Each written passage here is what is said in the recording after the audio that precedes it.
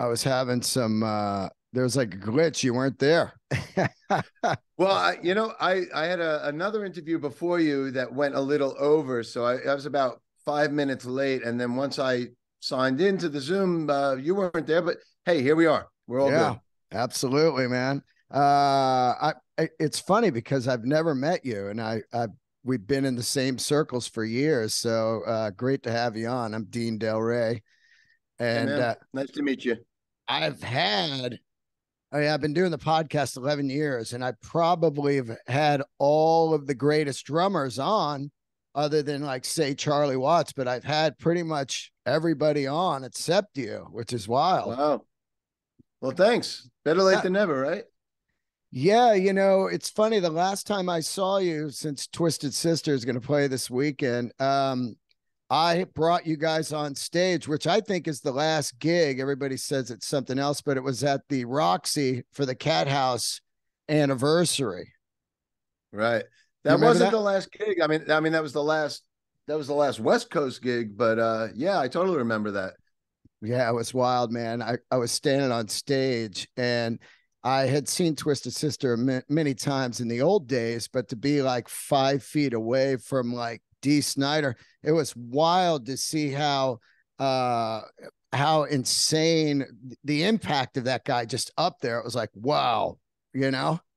All of them. I mean, they were all larger than life. They were kind of like, you know, I used to go see them back in the club days, uh, back in the, the early 80s before they blew up on MTV. And they were larger than life. It was like seeing Kiss, you know, in in a small club back then. You know, they were all larger than life and huge. You know, Dee is a huge guy and Mark Mendoza is a big guy. So yeah, and they all wore the biker jackets with the colors and everything like that. So yeah, they always had a very larger than life kind of uh, aura about them.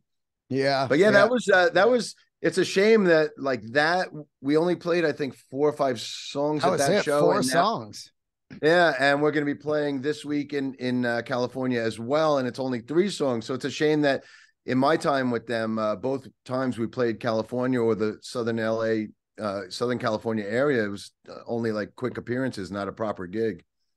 It's got to be such a different animal. Um, because uh, I was thinking about over the years, of course, Dream Theater for you know 25 years, or you know, to play rock because that's like rock, you know uh Avenged Sevenfold, and this Winery Dogs record is rock, and it's it's such a different animal. Do you do you do you get bored if you're just playing straight rock? you know? No, no. I I mean, I made my name uh, in Dream Theater for 25 years playing this incredibly complex progressive music, but um, that's just one side of me. I mean, I think that's why after I left Dream Theater, I was so determined to do so many different things across the board. Everything from like the classic rock 60s and 70s sound of the Winery Dogs to, you know, thrash metal stuff with Metal Allegiance and then stuff with Twisted Sister or Avenge. I mean, I was always a huge music fan of everything. When I went off to Berklee and we formed Dream Theater, I just met two other guys that were into the more progressive technical stuff like Rush with a little bit of a heavier edge. But I also at that point could have just as easily formed a band that was like the Who or Zeppelin or Cream, or I could have just as easily formed a thrash metal band in the vein of like Slayer and Anthrax and Exodus. It, it, my musical taste always has been very, very, very broad. So uh, everything I've done outside of Dream Theater are kind of just extensions of all of these different sides of me. So I, yeah, I, I'm just as home playing with Twisted Sister as I ever was playing 20 minute songs with Dream Theater. I, they're just two different sides of what I love to do. And, you know, li- not only what I love to do as a drummer, but what I love to listen to as a music listener.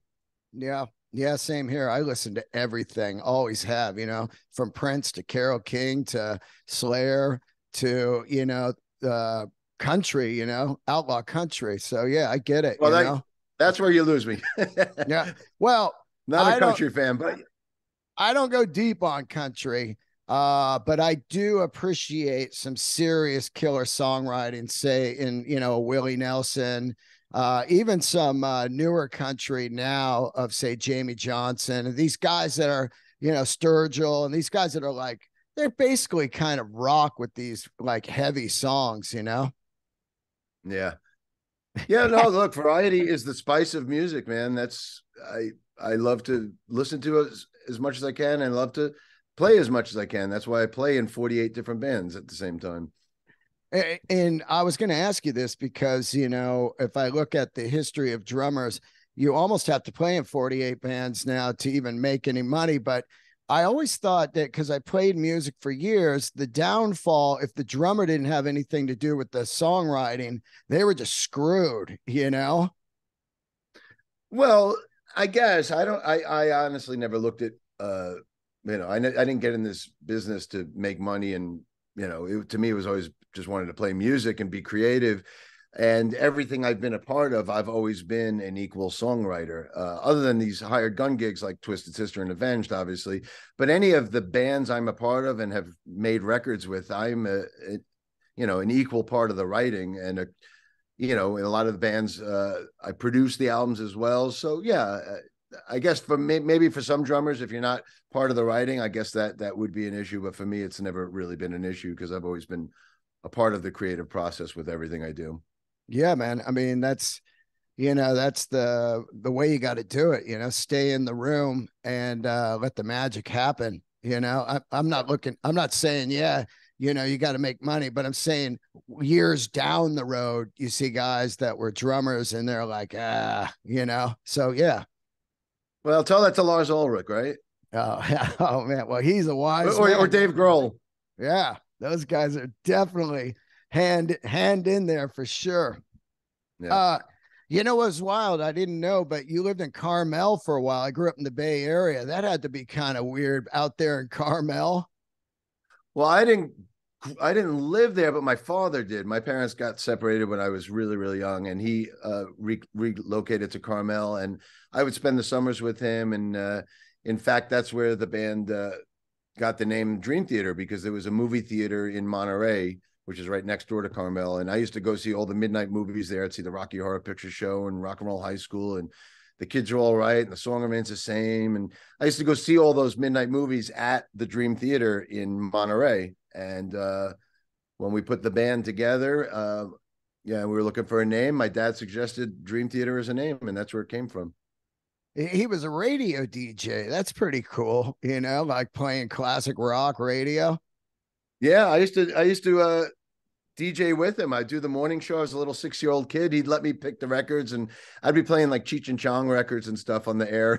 but uh, yeah, he would let me pick pick stuff and spin it. And my first claim to fame was, uh, you know, I was around six or seven years old, placing a, a phone call, and the operator recognized my voice and was like, "Are, are you Mike Portnoy?" And that was my first my first taste of fame. I'm a comedian, and it's funny you said Cheech and Chong because we're the same age, and that you know, there's such a big deal to me back in the day going to a party like you put on Ted Nugent, and then you would put on Richard Pryor record or or Cheech and Chong. You know, they were the same uh, kind of thing. It was rock and roll. I grew up on those those early Cheech and Chong albums, the first three or four of them, and I knew every one of those skits by heart. I mean, people don't realize now, you know, when we were kids in the 60s and 70s obviously there was no internet but even you know there were no dvds there was no no videotapes even. You i mean we had vcrs but that was just to record stuff. So honestly if you wanted to like uh hear comedy or whatever you'd have to buy the records. And it was cheech and chong and richard pryor and you know all, all those early comedy records. I remember the early steve martin albums uh you know that's how we got our comedy back then yeah, and it was so wild too, right? Because you're young, you're like my age back then, so you're you're usually you're sneaking it from the parents' record collection, and you're putting it on, and you're hearing about drugs and and the word fuck and stuff. You're just like, whoa, you know, it just seems yeah. so outlaw. No, that's how I mean, I learned about sex, drugs, and rock and roll from you know those Cheech and Chong albums, or or going to see these movies. You know, going to see Woodstock in the movie theater, watching people smoke pot, and you know that's that's how you learned about stuff like, like that when when you were our age and you were kids. Yeah, yeah, absolutely. Are you a, a comedy fan now? Do you watch comedy on the uh, bus when you're cruising around? Yeah, yeah, of course. I'm a comedian. That's why I was asking. You know, because it's. Yeah. Uh, I, I know a lot of musicians always wanted to be comedians, and comedians want to be musicians. You know, right? Now, I mean, well, like Bill Burr, for instance. I mean, I like I like the music, the the comedians that also have a, a, at least a knowledge of music, and it's you know kind of crossed over. You know, like uh, Don Jamieson does that as well, and you know people that are. are there's a you'd be surprised how many comedians are musicians or at least are music fans. Yeah. And every once in a while, you know, when I'll see that, it, it, it it's pretty cool. Yeah, Bill's like my best friend. We tour together. So, you know, really? once yeah, once a year we do this ACDC. I do this Bon Scott tribute, you know. That's great. And, yeah, we have all kinds of big guys come down and play, but Bill plays drums on a few and uh you know, I can just tell he absolutely loves it because he's up there playing, and there's like Nikki Sixx and Ler from Primus, right. and you know Scott Ian. Yeah. So he's just like, oh my god, you know. Yeah, absolutely and Brian Brian Posehn's another one, and uh, Tim Heidecker. I mean, Tim's not like a metalhead, but he's you know got a big deep appreciation for the Beatles and stuff. That he and I connected over the Beatles just because we were both Beatle fanatics. So yeah, there's definitely a lot of uh, crossover between comedy and music. I wasn't a Beatles guy. Uh, I, every you know, I listened to the Beatles and I liked the Beatles, but I never go like, oh yeah, the Beatles. And then after that documentary, man, it's just over with now. I'm just obsessed. Yeah, yeah, that was uh, amazing. Yeah, it really was. And what what a great time to, you know, later in life you find these bands that you love like all of a sudden you love like later I found Bruce, you know, or later like or growing up I wasn't into Pink Floyd. It was like stoner rock and now Pink Floyd's like my favorite, but any bands that you didn't like growing up that you're into now? I I grew up listening to so much shit and I loved everything from from childhood. I mean, I grew up with the Beatles and the Who and Zeppelin and the Stones and Bowie. I mean, that's what I grew up with. Um, I can't say there's much that I've recently discovered from then because I was listening to it all then. I listened to Hendrix and Cream and The Doors and Zappa and Pink Floyd. I don't know. I was listening to stuff literally from day one because, because as we already talked talked about, my dad was a disc jockey, so I grew up surrounded by this stuff. So I was kind of hip to it from from very early on. Yeah. I mean, I was hip to it too, but it'd be like Chicago. I'd be like, no way. Oh, I love Chicago. Yeah, now I, I love them now. Uh, I mean, I was listening to stuff that I probably would should be embarrassed to admit, but I was listening to like the early Bee Gees when they were still oh, doing pop rock stuff, and love it. You know, Chicago and the Monkees and the Osmonds. You know, a lot of stuff that I should be embarrassed to admit I listened to. I I don't know. I had no shame. I, I was op- pretty open minded all along with everything I listened to. I was so into the disco, and I would just shout it out. You know, I yeah. Mean, I, I, and also like Earth, Wind, and Fire, and Ohio Players, and all of that. I was way into that. Yeah, man. I mean, that's the key to like you know the key to music is an open mind, man. Yeah, Let's talk a little bit about the new record uh, coming out February 3rd. I know Richie Kotzen quite well. Richie has played one of my Bon Scott shows, and uh, we both had the same birthday. That's when the record's coming out, February 3rd. Right. Yeah. And I've known him for like 35 years. I've had Billy on. But the interesting thing about this Winery Dogs record, it's called Three, and it comes out on the 3rd, like I just said. You know, if I sat there and thought about it for a little while, this kind of feels like a record that would be in between 'em and Smile and Skyscraper, minus the vocals. The music feel of it really has this incredible kind of uh, that that era of Diamond Dave. Well, I mean, inevitably, Billy, you know, puts his stamp on everything he's a part of. And I remember when Billy got the David Lee Roth gig, I was already a fan of his from Talas. I was going to see Talas in the clubs on Long Island and uh, Brooklyn and stuff like that. So I was already a fan of his, and I was already a fan of Steve Vai as well. So when Steve and Billy hooked up in, in Dave's band back in '85 or six or whatever it was, I mean, to me that was like the dream team. And you know, they did their version of "Shy Boy," which was originally a Talas song.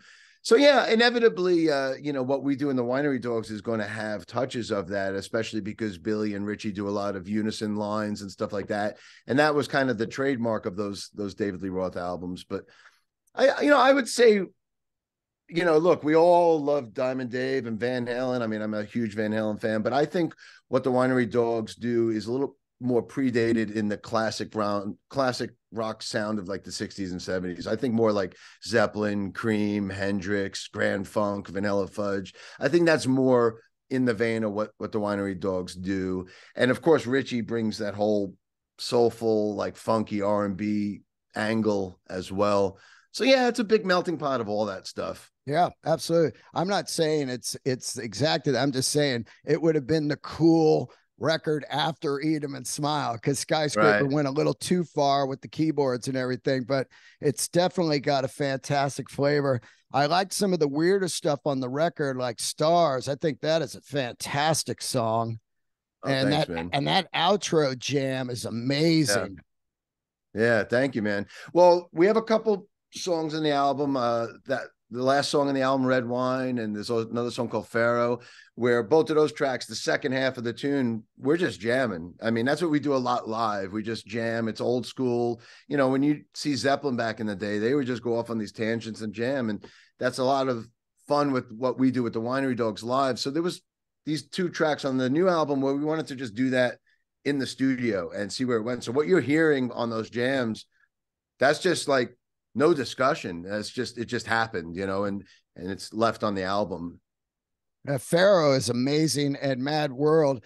Uh, those are some great songs, man. When you get into the middle of the record, it really just kind of goes somewhere else. And I, I was just like, wow, because I love Zeppelin, uh, you know, 77 era where they're really bloated and way out there, you know, no quarter, yeah. 30 minutes and stuff. And it's just like, yeah, totally. oh my God, that stuff to me is just fantastic and and that's what i like about the middle of this record. It really is just kind of uh not your standard rock. It's it's it doesn't have the formula verse bridge chorus verse you know uh it really goes for a ride and uh richie is playing his ass off on this and i gotta tell you man um the groove and the pocket on this plane it, it is fantastic. I can feel it so fiercely. I was like man this pocket is amazing. Awesome. Well thank you man. Well i mean i get to i get to wear that hat with the winery dogs. You know i kind of made my name 25 years in dream theater just doing this crazy progressive technical shit that isn't necessarily everybody's cup of tea. You know either you love it or you hate it. There's not much middle ground but what I get to do in the winery dogs, it's like people people really get this, man. It doesn't matter if you're a fan of mine, if you like prog or metal, or if you like classic rock. It seems like Winery Dogs has a little something for everyone that they could gravitate to, and and and you know the pocket is so important, and me and Billy get to just really lay it down in this band, and it's a lot of fun. Yeah, the tones are amazing on the record too. Uh, was it done oh, online, or did you guys go into a studio? Oh, no, no. He went in the no, studio. No, definitely not. I wouldn't even call it as a studio. It was Richie's. Richie's. Uh, he's got a little jam room in his house that's the size of like a bedroom, and it's really close quarters and tight. And just turn up the amps and jam like like old school, like when you're in a junior high school band, like playing in your garage. And that's the way it's got to be. You know, we, have never worked uh, in the winery dogs like trading stuff online and emails. And no, we got to be in the room together bouncing ideas off of each other, just feeling feeling what's going on in the room for sure. That's fantastic. And then how long did it take to record? Well, the song, the writing of the the basic music uh, and the arrangements, uh, we, that was over the course of two sessions, about a week each. So, you know, the blueprints and getting my drum tracks done because I would track my drum as soon as we would finish arranging a song, the music, I would track my drums right there and then while it was fresh in my head. So that process was only a couple weeks, but then the you know there's the process of tracking the guitar and bass and then Richie writing all the the vocal melodies and the lyrics. So that process obviously takes many many months uh, for Richie to you know do his work on, but you know, I you know the the overall process was about a year over the course of a year because we we took our time with it because we knew we couldn't tour until 2023, so we had time to to let it all simmer and and develop. Yeah, yeah, it sounds fantastic. What uh where do you live? The East Coast?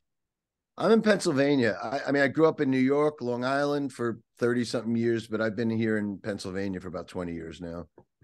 Back then, where where were you going to see your shows? Like, were you going to the garden? Did you ever get to see Zeppelin? I missed them. I'm like one year too young. Yeah, I I never saw Zeppelin, but I did see most of the classic bands back then. I saw Kiss at the Garden in 77. I saw Paul McCartney and Wings at the Nassau Coliseum in 76. Uh, I'd go to, you know, most of the arena shows growing up on Long Island were at Nassau Coliseum or Madison Square Garden.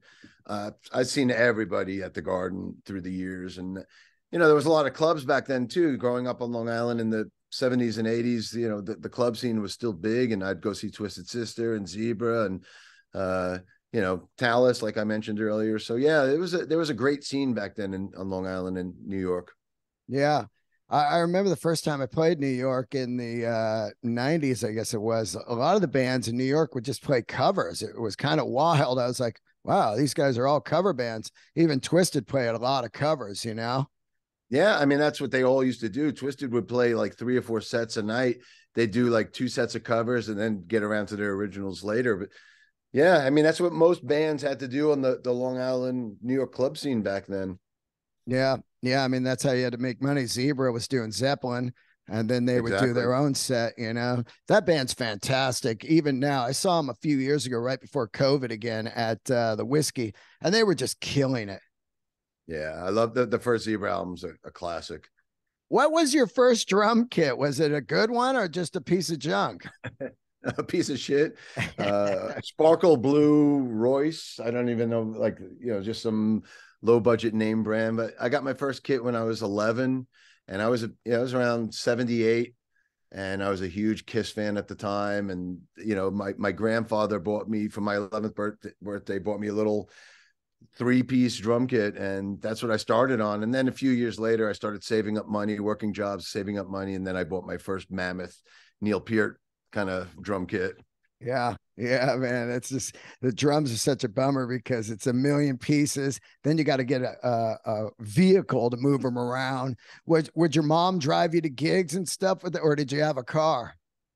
Uh, well, my my first gigs with my first band, we were just a local. You know, we were teenagers. We were junior high school, whatever, and uh, we'd have friends with older friends with cars that would drive us around, but we would just be playing like the local church and stuff like that. You know, just playing, you know, playing covers. We were doing like all, you know, Ozzy and Sabbath and Van Halen and, you know, early first Motley Crue album, you know, a lot that was kind of what we started with uh back in my first band. I had Gene on the show and you know, uh it was just insane to have him on because you're like me, the same age. Kiss was beyond anything. It, they yeah. were just they just you can't even superheroes. yeah, you can't even believe what you're seeing. You know, I saw him. I didn't see him at 77. Uh, they played in San Francisco in 77 the night uh, Elvis Presley died, which is oh, wild. Yeah. But I saw him on 79 on the Dynasty yeah, tour. Too. Yeah. And it was yeah, it was insane, right? They just come out of those boxes, you know. I saw the Dynasty tour at the Nassau Coliseum, and Judas Priest was opening. Judas Priest was out for Unleashed in the East and Kiss with Dynasty. Yeah, I mean they were superheroes, man. They were like, uh, you know, like a superhero version of the Beatles. You know, the, the Beatles were the first band where you had four strong personalities, and Kiss took that model and you know took it to the next level. Do you ever meet Peter? Yeah, of course. Uh, in fact, uh, I've uh, I played with Peter and Ace the first time Peter and Ace played together in like eleven or twelve years. It was it was about almost ten years ago. Eddie Trunk was doing a uh, a thirtieth anniversary uh, party or a concert at the Hard Rock in, in New York, and the Winery Dogs played at this party. We Winery Dogs did a set, and then uh, we did another set afterwards where me and Billy Sheehan were kind of the house band for all these special guests to celebrate Eddie's party. And we had everybody, uh, I mean, Lita Ford and JJ French and uh, uh, Geoff Tate and who else? I mean, it was a, the list goes on and on and on. Uh, all the Anthrax guys were there, the Overkill guys. But anyway, we had uh, Peter and Ace out for a bunch of songs, and Peter played my kit, and then I played on a small kit next to him and I got to play with Peter and Ace for the first time. They had reconnected and played together in like 12 years. So yeah, that was a huge honor. Wow. What songs did you guys play? Like uh Shock Me well, and stuff like that? We did uh the, the the band for that it was me, uh, Scott Ian, and Frankie Bello from Anthrax, Bumblefoot, and then we had Ace and Peter out. And uh, first we did Got to Choose before they came out, but then Ace came out and we did Parasite, and Peter came out and we did Hooligan and uh, Rock and Roll All Night. Uh, maybe one more. I can't remember off offhand, but yeah, that was that was as you know as a Kiss fan from, from childhood. That was amazing. That was one of the career highlights for me. Yeah, that's good. Yeah, that's got to be crazy. Absolutely. You're just looking over and there's Peter Criss You know. yeah. Did, totally. did, you have all the posters in your room? I had them all. You know. Oh yeah. Yeah. Not not, not only all four walls, but the ceiling as well. I know your yeah. dad was a DJ and he was way into music, but was your mom cool also? Like, uh, because you know, I lost my mom a few weeks ago, and it's been absolute. Oh, yeah, Sorry, it's been man. yeah, it's been brutal. This is the first podcast I've done since you know with a guest, mm. and uh, but I just think about having a cool mom. You know, the cool mom should be inducted into the Rock and Roll Hall of Fame.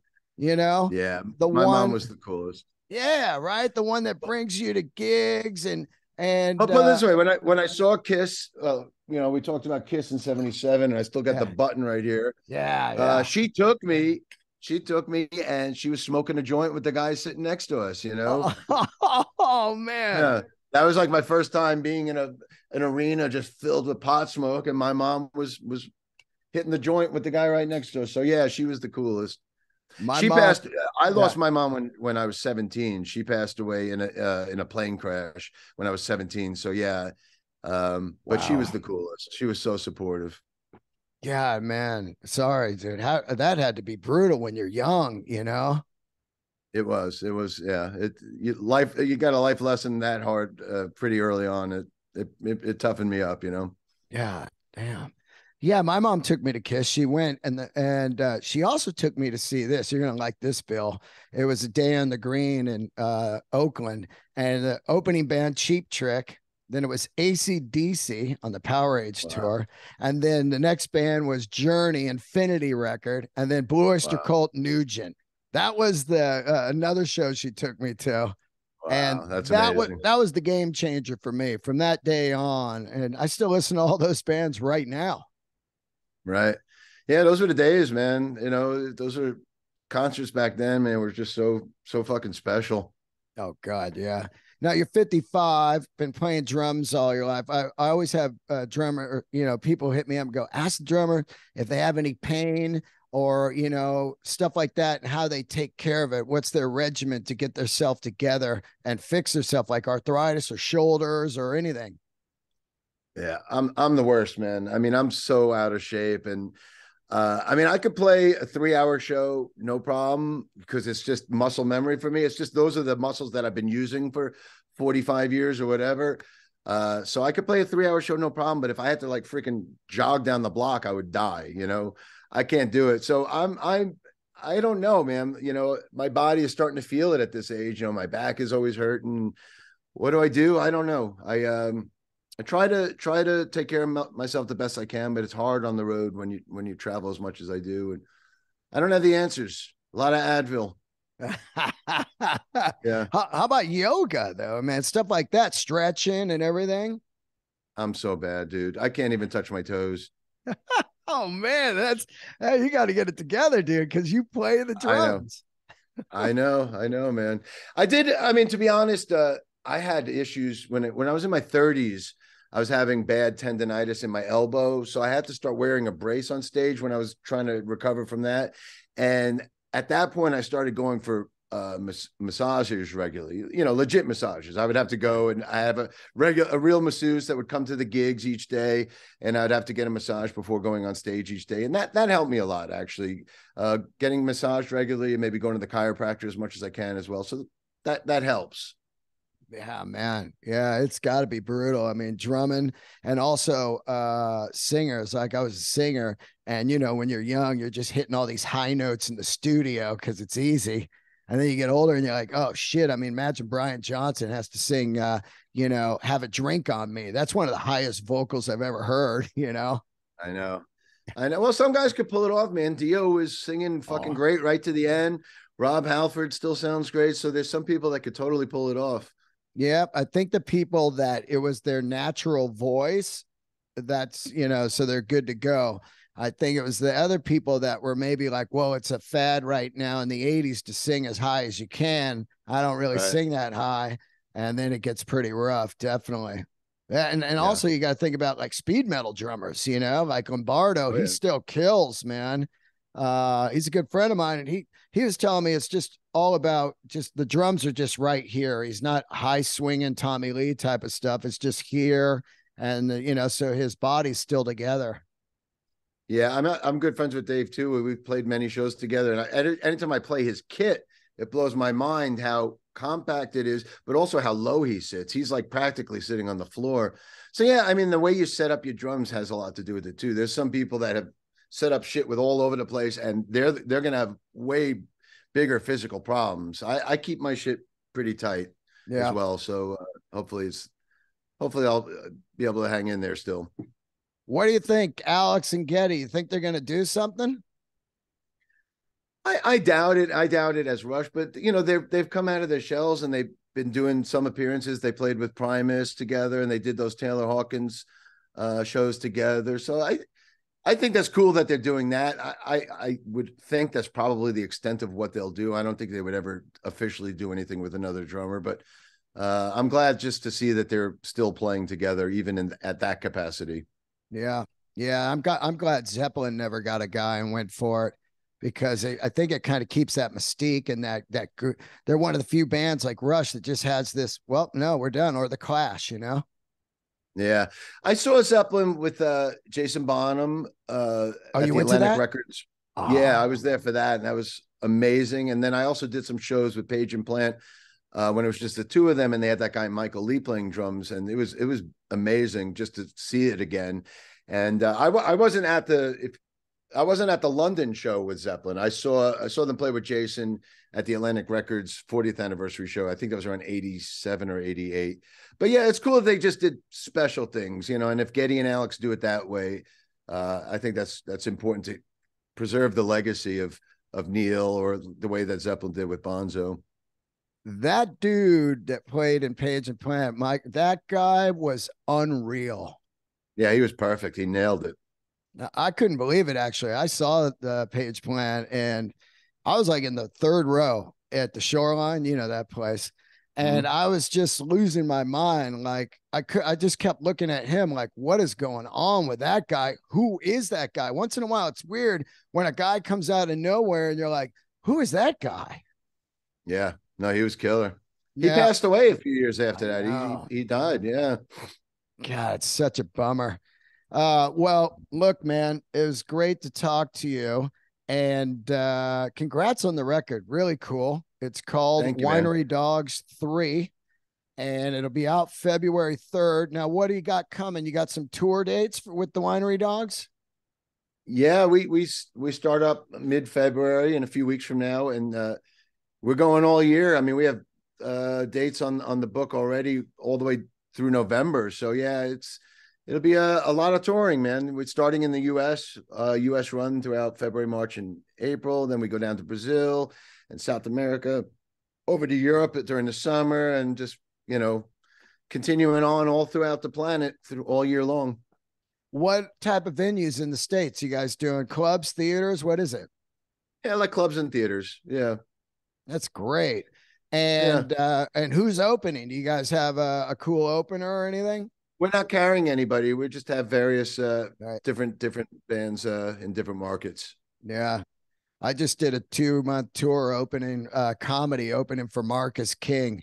It was that's killer. It was a hard. I opened for Metallica two nights, and wow. that was that was crazy hard. But uh, opening for a band for two months was even harder because you're like, I got to do it again tomorrow. wow. I I see. I would find it hard to be a comedian and and and like use the same material and like I can't tell a joke for my fucking life. But I I used to do drum clinics back in the '90s, and I found myself like after like a hundred of them in a row, like saying the same thing. It's one thing to be playing the same thing. But when you have to put the words together and repeat yourself from night to night night, I would find myself saying something. I'm like, wait, did I already say this or was that yesterday? Like, you know, I, I would have trouble like actually talking night after night after night like that. Well, you kind of uh you you know what you're gonna say, but you it's just like Zeppelin, you know, you're riffing in and out of the jokes.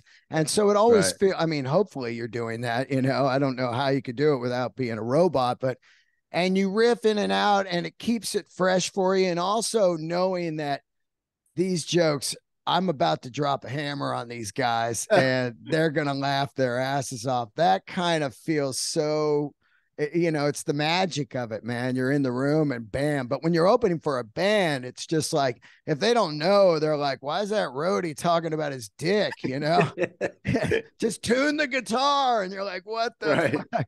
So it's really, really hard. A matter of fact, when I got off the tour and went back and did a set at the comedy store the first night, it was like the donut was off the bat and I was just killing because I was like, oh, Right. comedy crowd, you know? right. Yeah. That's You're cool com- though. you're coming to town. If you want to ever see some comedy, let me know. I know you'll be here for the. Um, I'll be in New York while you're here. I was going to go see that that Twisted Sister uh, Yeah. short thing. But when are you playing in L.A.? I'd love to see the Winery Dogs. We actually uh the the dates we're doing February, March, and April don't make it out west. We're actually out for almost two months and still only covering like half the country. So I think we're gonna have another leg in May for the West Coast. So hopefully uh that'll be announced soon. So hopefully if you're around in May, come on out. Oh yeah, it'd be Be great to meet. Yeah, it'd be great to meet you. I've, I've known Richie all my life, and uh, I had Billy on the show. Oh, by the way, if you see Billy, he he did the show about eight years ago, and he said he has like massive hard drives of bootlegs, and he goes, "I'll get them hooked up I for do you." too. Yeah, and I, I've been dying to hook up with him and get these, you know, get these hard drives of just because I had them all on CD. You know, you go to Japan and you go into those Oh, yeah. stores and you buy like a hundred CDs. I had every Zepp show, every one, all different Yeah. versions. You know, soundboards under the oh, fucking dude. stage. Dude, Yeah. look at that. I mean, that's all Oh yeah, I got like thousands and thousands. I'm a huge boot- bootlegger collector myself. So yeah. Oh yeah, I I had. Yeah, I used to go anytime I toured Japan, I would go with an empty suitcase Same just here. to bring all the shit home. And I'd go to airs, and back then that uh it was VHS tapes, like before DVDs. So I'd go to Oh, that video store airs and just literally fill a suitcase with shit. And you I- sign a couple autographs and they just give you everything for free. So it was that's the only reason I used to want to go to Japan back then. Same with me. I worked for the Stones, and the guy's like, "Hey, can you can you get me inside? Buy a couple tickets and get them in." And they go, "Just take whatever you want in the store." I get a double bag sent at home. I love that label, Fish Heads. That guy, Fish Heads, man, he had the Yeah. best Zepp stuff, and that Totals, T T O Z or whatever, Totos. Or, Yeah. man, that that shit is insane. The packaging alone would just give me goosebumps, man. I know, I know, totally. I mean, thank God for YouTube now. I mean, it's put most of those bootlegs places out of business, but now it's all at our fucking fingertips, man. The shit that you, I sometimes I'll spend hours just going down these rabbit holes on YouTube with different concerts, you know, find a fucking Pink Floyd show from 77 or whatever, just crazy stuff and go down these rabbit holes and spend hours on YouTube. So, Well, there's these Love that. guys, these guys now too that they're taking the stuff, like the guy that has the Fresno Van Halen stuff, and they're remastering it and running it through all this amazing programs now to where the Yeah. quality is just stunning. amazing. Yeah, it. totally. Yeah. There was a, a whole bunch of really cool Kiss stuff that was released a few Oh. months ago. Some guy That had guy. like all the Holy Grail stuff, like stuff like footage from you know the, the night they recorded alive or whatever in Detroit, and all this amazing stuff. And then it all got taken down. But I ripped a whole bunch of it before it got taken down in fear that maybe it would. And and sure enough, it, it all got taken down. But I had Gene on. shit out there. I had Gene on right when that stuff uh was up. And I was like, where the fuck did this shit come from? Somebody obviously, I mean, they had like those rehearsals, you know? Yeah, And and I Yeah, go, where did you get all these? And he's like, I don't know. You know, like and you know, I, because I think that, you know, Kiss eventually should just put out all of that. You know, it's so good. yeah. It was fantastic, that amazing. stuff. Well, looking forward to meeting you. Thank you so much. If you uh, ever want to see some comedy, uh, let me know. And uh, Thank you, man. And and uh, when you come to town, I'll see if Bill's around, and we'll come together. Absolutely, yeah, man. Good to meet you, man. You too, man. Thank you so much, and uh, got a great record here, and I'm hoping it gets some uh radio play. That Mad Mad World song's got a hook that's just crushing, and uh, it's it it's got to get out there. So it was really cool to have you on and and awesome. let the people know. Thank you so much. Thanks, dude. Good to see you. You too, man. See you later, buddy. All right. Take care, later. man.